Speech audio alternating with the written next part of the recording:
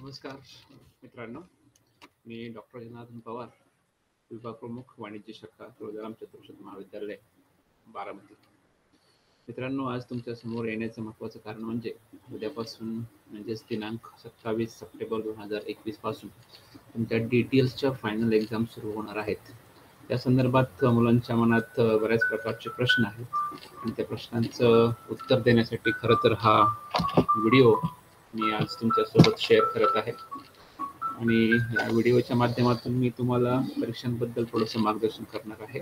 सत्तावीस तारखेपासून तुमच्या ज्या परीक्षा सुरू होणार आहेत त्या परीक्षेमध्ये साधारणपणे तुम्हाला पाच विषयांचे पेपर असणार आहेत. तर या परीक्षा संदर्भात मी तुमच्याशी आज सविस्तर बोलणार आहे आणि त्यासाठी हा व्हिडिओ मी केलेला आहे. तुम्ही हा व्हिडिओ शेवटपर्यंत पाहा म्हणजे तुम्हाला कळेल की नेमकी काय परीक्षा आणि कशा पद्धतीने परीक्षा तुम्हाला द्यायची आहे. ठरल्याप्रमाणे जो आपला परीक्षेचा पॅटर्न आहे तो अॅन्युअल पॅटर्न आहे. तुमची ही वर्षातून पहिली आणि शेवटची परीक्षा होते. या पॅटर्नमध्ये तुम्हाला जो काही पेपर काढला जाणार आहे तो पेपर शंभर मार्काचा असणार आहे. त्याच्यापूर्वी तुमची कुठलीही इंटरनल परीक्षा झालेली नाही. त्यामुळे तुमचा जो पेपर येणार आहे तो शंभर मार्काचा पेपर असणार आहे. त्यानंतर मुलांच्या मुलांमध्ये मनामध्ये शंका असेल की आमची जी परीक्षा होणार आहे कोणत्या पद्धतीने होणार आहे? आम्हाला एम सी क्यू प्रश्न असतील का डिस्क्रिप्टिव्ह असतील किंवा शॉर्ट आन्सर्स असतील तुमची जी परीक्षा होणार आहे ती टोटली एम सी क्यू पॅटर्ननी परीक्षा होणार आहे. सगळे ऑब्जेक्टिव्ह टाईप्स क्वेश्चन्स असतील ज्याला आपण बहुपर्यायी प्रश्न म्हणतो मल्टी चॉईस क्वेश्चन्स त्याला आपण एम सी क्यू म्हणतो. तर शंभर मार्कासाठी साधारणपणे तुम्हाला पन्नास एम सी क्यू प्रश्न असतील आणि त्या पन्नास एम सी क्वेश्चनला प्रत्येक क्वेश्चनला साधारणपणे चार पर्याय असतील. त्या चार पर्यायांमधून तुम्हाला एक योग्य असा पर्याय निवडायचा आहे आणि तुमचं उत्तर तुम्हाला ते सबमिट करायचं आहे. सगळे प्रश्न कंपल्सरी असतील आणि याच्यामध्ये जे काही पन्नास प्रश्न असतील ते पन्नासच्या पन्नास तुम्हाला सोडवावे लागणार आहेत. कारण तुमचा पेपर शंभर मार्काचा आहे. तुमचं शेवटचं इव्हॅल्युएशन पन्नास शंभर मार्काचं होणार आहे. त्यामुळे हे लक्षात ठेवा तुम्हाला पन्नासच्या पन्नास प्रश्न अटेम्प्ट करावे लागतील. त्यानंतर सर्वात महत्त्वाची गोष्ट हा जो पेपर आहे तो तुमचा किती वेळासाठी असेल? तुमचा पेपर हा साधारणपणे दीड तासासाठी असणार आहे ज्याला आपण नव्वद मिनिट म्हणतो. नव्वद मिनिटासाठी तुमचा पेपर असणार आहे. त्यानंतर एका प्रश्नाला दोन मार्क्स आहेत मी म्हटल्याप्रमाणे. आणि एकूण प्रश्न संख्या पन्नास दोन मार्क प्रत्येक प्रश्नाला म्हणजे शंभर मार्क असे झाले. हा तुमचा पॅटर्न झाला. त्यानंतर मुलांमध्ये एक प्रश्न किंवा एक शंका असते. की परीक्षा ज्यावेळेस आपण सुरू करतो ते कोणत्या पद्धतीने होणार म्हणजे त्यासाठी काही सॉफ्टवेअर वगैरे वापरले का नाही? कॉलेजने याच्यासाठी कुठलंही सॉफ्टवेअर वापरलेलं नाही. तुमची जी परीक्षा होणार आहे ते गुगल फॉर्मच्या माध्यमातून होणार आहे. तुमचे जे विषय शिक्षक आहेत तुमचे जे पाच विषय शिक्षक आहेत जसं की जनरल लॉ आहे इन्कम टॅक्स आहे आय जी एस टी आहे कस्टम आहे आणि अकाउंट्स आहे या पाच विषयाचे शिक्षक तुम्हाला गुगल फॉर्मची लिंक साधारणपणे पेपर सुरू व्हायच्या दोन मिनिट अगोदर तुमचं जे काही टाईम आहे पेपरचं त्याच्या मिनिट दो त्याच्या अगोदर फक्त दोन मिनिट आणि पेपर सुटल्यानंतर साधारणपणे दोन मिनिटानंतर तुमची लिंक बंद होणार आहे. एक लक्षात ठेवा तुम्हाला ठर ठरवून दिलेल्या वेळेमध्येच तुम्हाला पेपर सुरू करायचा आहे आणि ठरवून दिलेल्या वेळेतच तुम्हाला पेपर जमा करायचा आहे. तुम्ही जमा करण्यासाठी थोडा जरी जास्त उशीर लावला तर शिक्षक संबंधित शिक्षक ती लिंक बंद कर केली करतो आणि त्यानंतर तुम्हाला तो पेपर सबमिट होत नाही. त्यानंतर आम्हाला मुलांची तक्रार येते आमचा पेपर सबमिट होत नाही. आम्हाला अडचणी येत आहेत. लिंक ॲक्सेप्ट करत नाही रिस्पॉन्सेस अशा प्रकारचे प्रश्न येतात. तर हे सर्व टाळण्यासाठी तुम्ही वेळेत पेपर जमा करा. वेळेतच तुम्ही सबमिशन करा. हे करणं हे करणं गरजेचं आहे. सर्वात महत्त्वाची गोष्ट म्हणजे ज्यावेळेस तुमचा क्वेश्चन गुगल फॉर्ममध्ये तुम्हाला मिळणार आहे सुरुवातीला काय बेसिक गोष्टी तुम्हाला खूप काळजीपूर्वक लिहायच्या त्याच्यामध्ये आहे तुमचं पूर्ण नाव पूर्ण नाव लिहित असताना तुम्ही तुमचं आडनाव तुमचं मत तुमचं मुख्य नाव ज्याला आपण म्हणतो तुमचं जे काही नाव आहे तुमच्या वडिलांचं नाव असं लिहायचं फॉर एक्झाम्पल मी जर पेपर घेत असेल तर माझं नाव असेल जनार्दन कुंडलिक पवार. असं लिहावं लागेल. बरेच मुलं नाव लिहित नाहीत एक्स वाय झेड लिहितात एबीसी लिहितात. असं करू नका. कारण तुम्ही जर नाव नाही लिहिलं तर नंतर आम्हाला कळत नाही कोणाचे पेपर आहेत आणि बऱ्याच वेळा रोल नंबर चुकतात पी आर एन चुकतात ते होऊ नये. म्हणून नाव असणं गरजेचं आहे. त्यामुळे नाव प्रॉपर लिहा आणि याच फॉर्मॅटमध्ये लिहा. सरनेम युअर नेम आणि युअर फादर नेम त्यानंतर रोल नंबर तुमचा काही जो काही रोल नंबर आहे तोही रोल नंबर लिहा.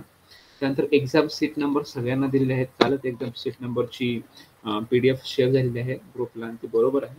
त्यानंतर पी आर एन नंबर मात्र न चुकता लिहा. हे सगळे कंटेंट्स म्हणजे फुल तुमचं नाव roll number exam seat number P R N number या सर्व गोष्टी तुम्हाला बारकाईने काळजीपूर्वक लिहायच्या इथं जर चूक झाली तर तुम्ही पेपर देऊन सुद्धा तुम्हाला मार्क्स येत नाहीत किंवा तुम्हाला त्या दाखवलं जाऊ शकतो. बरेचसे मुलं या बाबतीत सिरियस आहे त्यानंतर तुमचा ईमेल आय डी सुद्धा प्रॉपर लिहा. लोक काहीतरी ईमेल आय डी लिहितात.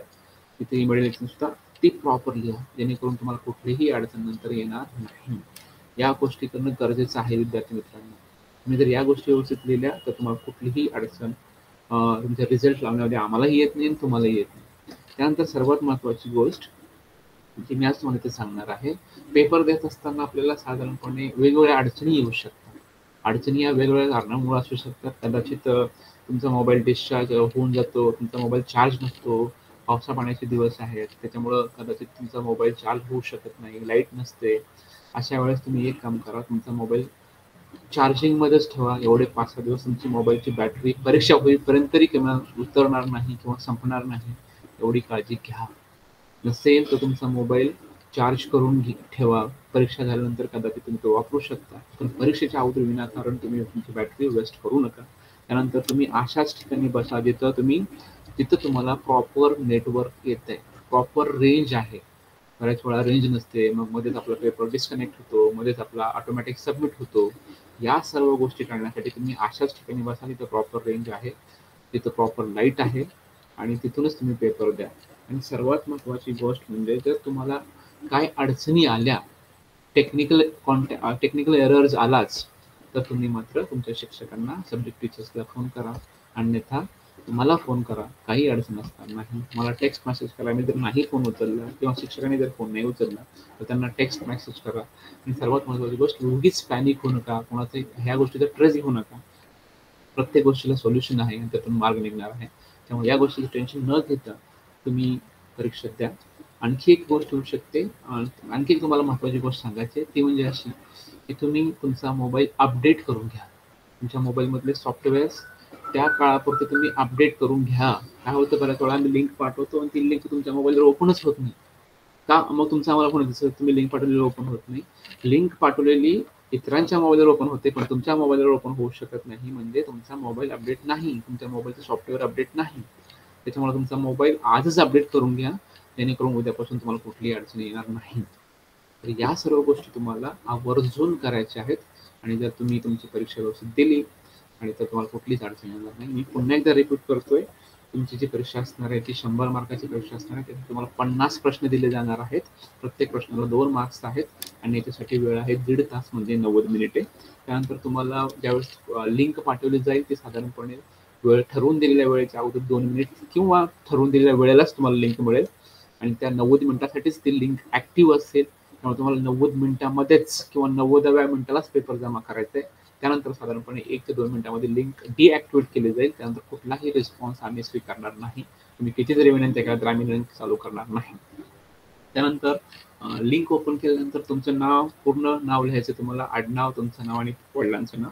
नंतर रोल नंबर लिहायचा आहे एक्झाम शीट नंबर लिहायचा आहे पी आर एन नंबर लिहायचा आहे. तुमचा ईमेल आय डी प्रॉपर लिहायचा आहे.